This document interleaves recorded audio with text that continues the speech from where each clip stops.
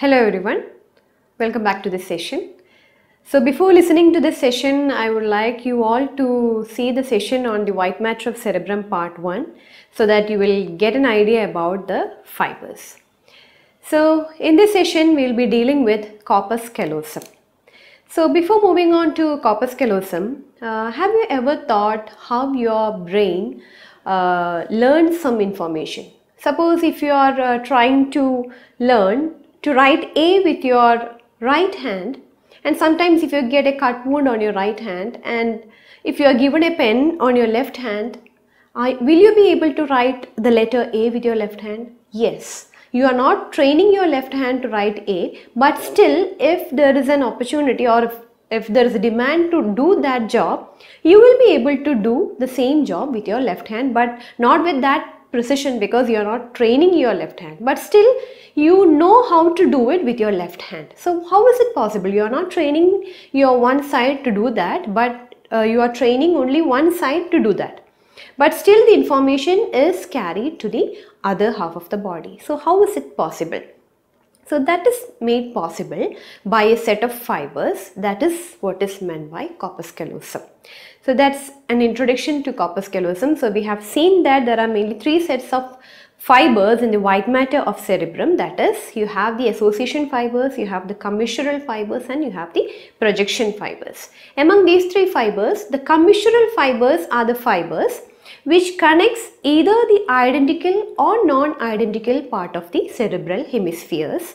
So you have a one region in one cerebral hemisphere, that region is connected to the opposite cerebral hemisphere through a set of uh, white matter, the white fibers, they are the commissural fibers. And you have many types of commissural fibers. You have the anterior commissural fiber posterior commissural fiber habenular commissural hippocampal commissural. So likewise you have many commissural fibers out of which the largest one and the most prominent one is corpus callosum so the corpus callosum, the fibers are mainly the axons of the pyramidal cells of the cerebral cortex. You have the cerebral cortex with many different types of neurons and the pyramidal cells are actually having the axons and their axons are actually passing through the corpus callosum.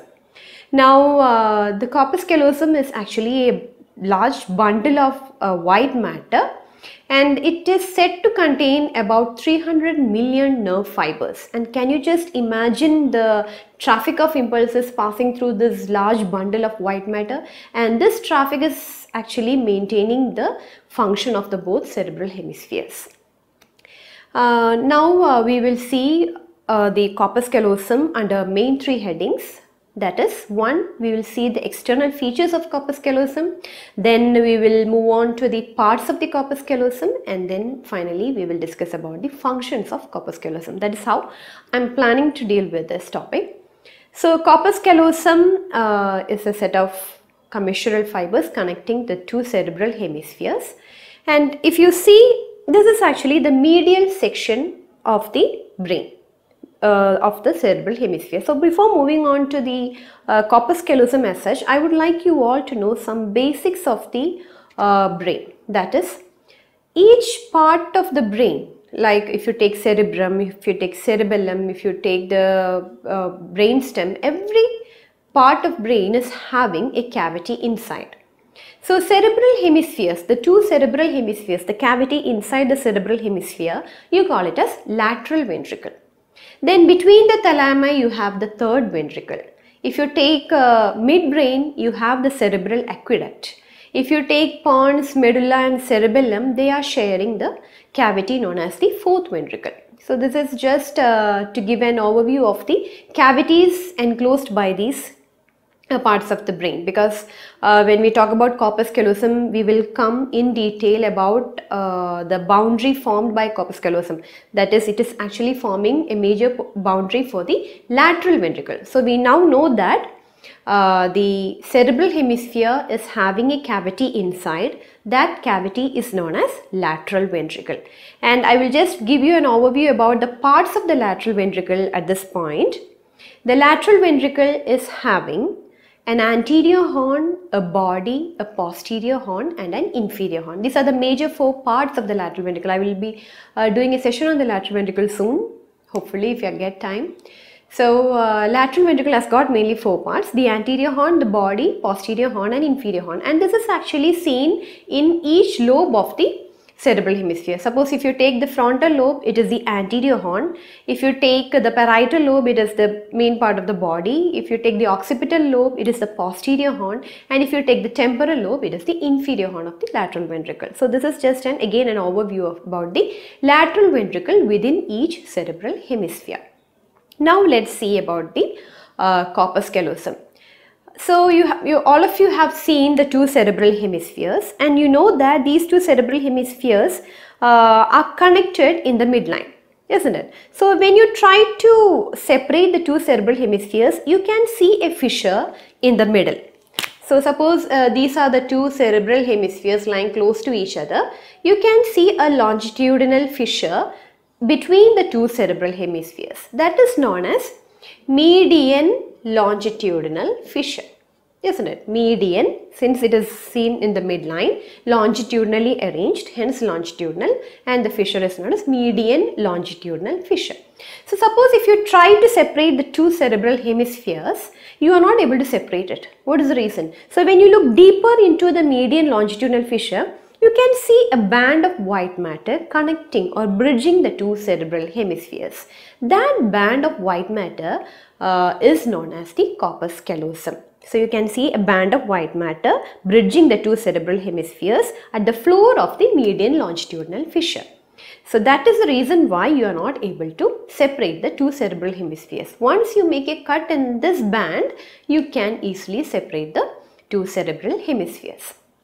So uh, if you uh, look at the medial aspect of the cere uh, cerebral hemisphere, this is our corpus callosum. Okay, so you can see a curved band of white matter roughly 10 centimeter in length and you can see that it is the anterior end is actually about 4 centimeter away from the frontal pole. This is the anterior aspect, this is the frontal lobe and this is the occipital lobe. Okay, so this is the anterior aspect and this is the posterior aspect. So when you look from the medial aspect of the cerebral hemisphere, you can see that the anterior end, this is the uh, curved band of white matter, okay, the cut section. So this anterior end is roughly 4 centimeter away from the frontal pole and the posterior end is roughly 6 centimeters away from the occipital pole. Now if you have a look you can see that the it is convex upwards and it, uh, there is a concavity in the inferior aspect isn't it? It is convex upwards and there is a concavity in the inferior aspect. So now you're looking into the gap between the two cerebral hemispheres. So before seeing the corpus callosum, the white band, you can see a thin band of gray matter okay a thin band of gray matter covering the corpus callosum. And that thin band of gray matter is known as indusium griseum okay indusium griseum so the indusium griseum gyrus fasciolaris, all these are actually forming part of hippocampal formation. That is limbic system. Many of you have asked me to do a session on limbic system. So according to my time i will be doing all these things.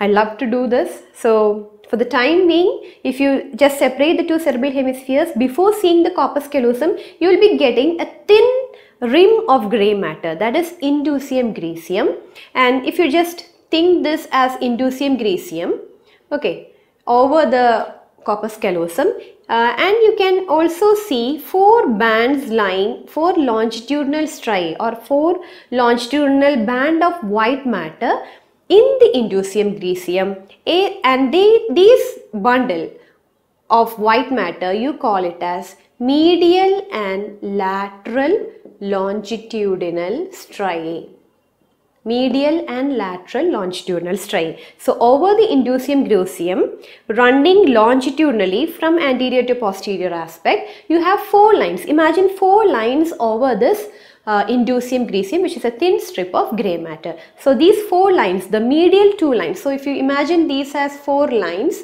the medial two lines you call it as medial longitudinal striae and the lateral two lines you call it as lateral longitudinal striae and they are actually connected to amygdala. So indusium griseum you have, then you have the medial and longitudinal lateral longitudinal striae embedded in the indusium griseum. So sometimes this indusium griseum along with these striae are collectively known as supracallosal gyrus because it is lying above the corpus callosum, right? So this band is actually considered as supracallosal gyrus. And uh, you have the anterior cerebral artery. You have the anterior cerebral artery winding around it like this. This is how the anterior cerebral artery is uh, arranged. So if you again uh, try to separate the two cerebral hemispheres, you will be seeing the two anterior cerebral arteries uh, taking the curve of the corpus callosum. So on the indusium griseum, you will be seeing the two anterior cerebral arteries. So these are the structures which you will be seeing just above the corpus callosum in the gap between the two cerebral hemispheres that is in the median longitudinal fissure. So if you if you're planning to take a section like this, okay, if you just take a section here and if you remove this part and you're looking from this aspect, if you take a section, you keep the two cerebral hemispheres like this. If you take a section like this and if you remove this part and if you're looking from the anterior aspect, this is the view. So this is the right and left cerebral hemispheres. You, have you can see the corpus callosum bridging the two and over that you can see the indusium griseum this is the indusium griseum and you can see the four bands that is medial and these two are the medial and the lateral ones are the lateral longitudinal striae and above that you can see the cut sections of the anterior cerebral artery. Okay, so this is the view if you take a section at this point. Now above this uh, so that is this is the view which you see when you try to separate the two cerebral hemispheres and if you are looking at the medial longitudinal fissure. Okay. Now if you look at the medial aspect of the brain or the cerebral hemisphere, just above it you can see a gyrus, isn't it? Just above the uh, corpus callosum you will be getting a gyrus. This is known as cingulate gyrus cingulate gyrus and this cingulate gyrus is actually separated from the corpus callosum by a sulcus lying in between. This sulcus is known as callosal sulcus. So callosal sulcus, cingulate gyrus, all these are features seen on the medial aspect of the cerebral hemisphere, whereas the indusium griseum, uh, the medial lateral longitudinal striae, the anterior cerebral arteries are actually seen on the corpus callosum, which is actually forming the floor of the medial longitudinal fissure. So that uh, you have you have to keep in mind. And all these are features of the upper convex portion of the corpus callosum now if you look at the lower aspect, the concave aspect, what are the features? You can see a band of white matter here. This is the fornix. Okay, so this is the fornix. So you can see that the corpus callosum is actually connected to fornix by a thin strip that is known as septum pellucidum. Septum pellucidum. So septum pellucidum is a thin lamina which connects the inferior aspect of the corpus callosum with the fornix. That point also you have to keep in mind. Now uh, let's move on to the parts of the corpus callosum. So when you talk about the parts of corpus callosum, it has got this portion is known as the rostrum this portion, this bent portion, you can see a bent here, isn't it? This is known as the genu. This main portion, the main bulk, this is the trunk or body of corpus callosum and the posterior broader region, the thickest band is known as the splenium of corpus callosum okay so you have the rostrum you have the genu then you have the trunk or body of corpus callosum and then you have the splenium of corpus callosum now let's see how are they contributing uh, to the uh, boundary of the lateral ventricle. So we have mentioned that the lateral ventricle is a cavity in the cerebral hemisphere. This is the frontal uh, lobe Hence, you have the anterior horn of lateral ventricle here. This is the parietal lobe. So, you have the central part or the body of the lateral ventricle. Then this is the occipital lobe where you get the posterior horn of the lateral ventricle. The inferior horn is actually seen in the temporal lobe but for the time being the band of corpus callosum is not actually forming a boundary for the inferior horn of the uh, lateral ventricle but the fibers running from the uh, corpus callosum which are radiating from the corpus callosum do form a boundary for the inferior horn of the lateral ventricle but for the time being we are more concerned about the anterior horn which is in the frontal lobe the body which is in the parietal lobe and the posterior horn which is seen in the occipital lobe. So the band of corpus callosum is actually forming boundaries for all these three parts of the lateral ventricle. Now we can see that the rostrum is actually connected to a thin band of again gray matter that is the lamina terminalis. Ter lamina terminalis. So this is the lamina terminalis which is actually seen as the anterior boundary of the third ventricle. This is the thalamus and the hypothalamus region and the cavity between the two thalami this is the region of third ventricle right. So this lamina terminalis is actually coming as the anterior boundary of the third ventricle and this rostrum is actually connected to this lamina terminalis. Now what about the uh, contribution of the rostrum to the anterior horn? It is actually forming a part of floor of the anterior horn of the lateral ventricle. And now comes the genu. So this is the anterior horn here. So this genu is actually forming the anterior boundary of the anterior horn of lateral ventricle and the remaining part, the trunk the trunk or body of the corpus callosum is actually forming the roof of the mainly the central portion of the lateral ventricle. And the splenium splenium actually uh, hangs over. This is the thalamus right? The pulvinar portion of the thalamus. This is the pineal gland. And this is the tectum of midbrain. So the splenium is actually hanging over these main three structures. You have the thalamus, you have the pineal gland and you have the tectum of midbrain. So this is midbrain, this is pons and this is medulla, right? So this is the tectum of midbrain. So the splenium of corpus callosum is hanging over the thalamus, especially the pulvinar portion of the thalamus, the pineal gland and the tectum of midbrain. That is how we explain the different parts of corpus callosum. So once again, you have the rostrum which is connected to lamina terminalis. This is actually forming the anterior horn uh, floor of the anterior horn because here you have the anterior horn, here you have the body of the uh, lateral ventricle. In the occipital pole you have the posterior horn of the lateral ventricle and in the temporal lobe you have the inferior horn of lateral ventricle. We are not talking about the inferior horn of lateral ventricle right now. We are just mentioning about the anterior horn, body and posterior horn. Uh, in the anterior region, you have the rostrum forming the floor. The genu is forming the anterior boundary of the anterior horn and the rest of the portion is actually forming the roof of the Uh, especially the central part of the lateral ventricle. And you can see the splenium actually hanging over the thalamus, the pineal gland and the tectum of midbrain. Now if you carefully look just below the splenium, just below the splenium, you can see a lateral fissure. Okay, so there is a fissure just below the splenium and this here you get the tela choroideae with the posterior choroidal vessels and the great cerebral vein of Galen.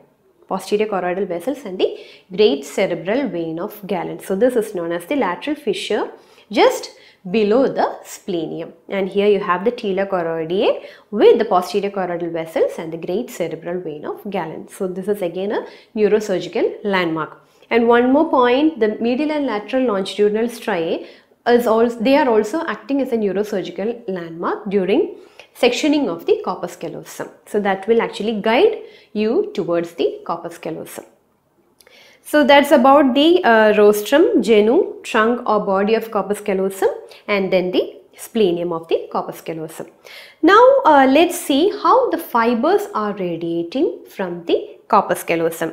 Uh, we have mentioned that there are commissural fibers connecting almost all regions of the two cerebral hemispheres except two regions. The, two, the two regions are the primary visual area and the primary somatosensory area of the hand and foot. So these two regions are not connected with commissural fibers. That point you have to keep in mind. And uh, the corpus callosum is actually uh, a band of white matter which connects the neocortex that, that is the reason why this is actually a big band of commissural fibers compared to the other re, uh, commissural fibers like the anterior commissure, posterior, hippocampal, habenular and all. So the corpus callosum is the main band which connects the neocortical region, the mostly evolved part of the brain. So that's the reason why this is actually a bigger band. Now let's see how the fibers are radiating uh, from this corpus callosum. So we have the rostrum, we have the genu, we have the trunk and we have the splenium. And from these the fibers are actually radiating to either side uh, to connect the different regions of the cerebral hemispheres, right? So now we are going to take a section like this. Okay, you just take a horizontal section like this.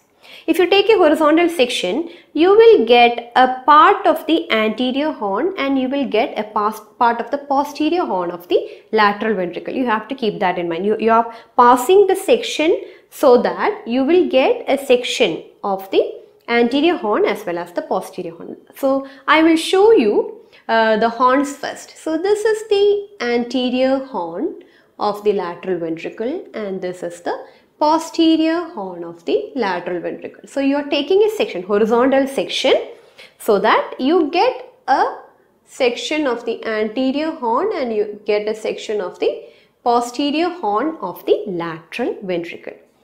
Now uh, we will see the fibers, how are the white matter uh, radiating from the band of corpus callosum. From the rostrum, uh, actually from the fibers coming from the rostrum it's not included in this section. They will be actually going to the orbital cortex of the frontal lobe okay? On either side they will be connecting the orbital cortex of the frontal pole or the frontal lobe.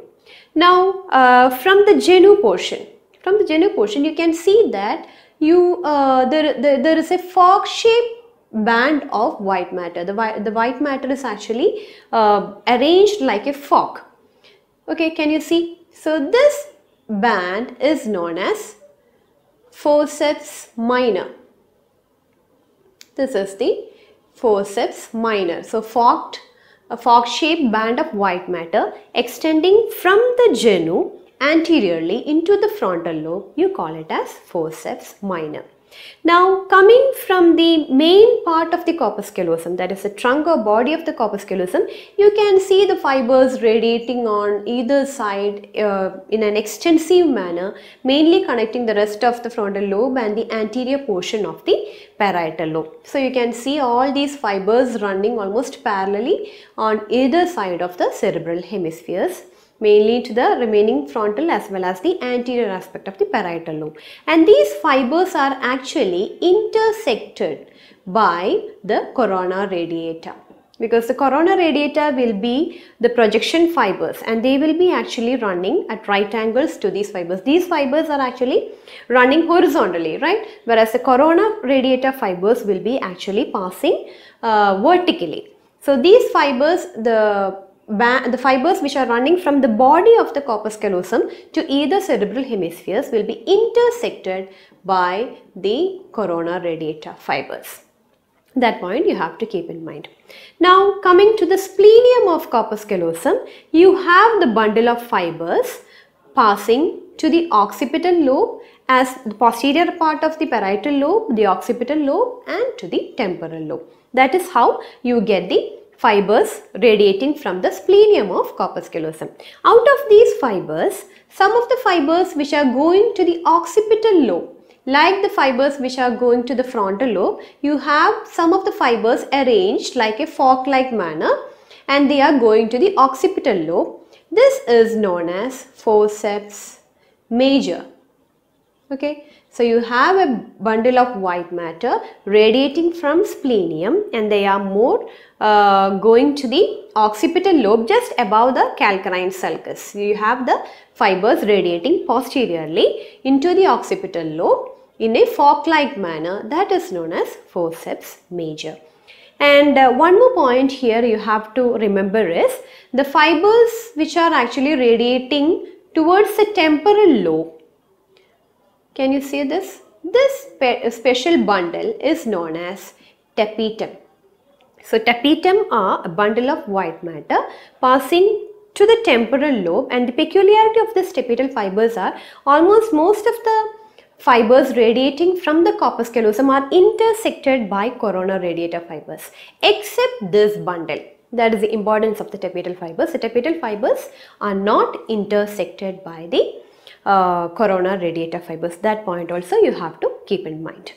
Then um, at this point I would like to add one more important thing. This forceps major and the tapetum in between you can see the posterior horn of the lateral ventricle right so this forceps major is actually forming an elevation in the medial aspect of the posterior horn and this elevation caused by the forceps major is known as the bulb of forceps major Okay, so the bulb of forceps major is just an elevation caused by the bundle of white matter that is the forceps major in the posterior horn of the lateral ventricle. So this is how we have the fibers radiating from the corpus callosum. So that's all about the parts of corpus callosum and the pattern of fibers radiating from the corpus callosum. In the next session, I will be dealing with uh, the functions of corpus callosum. Thanks for watching.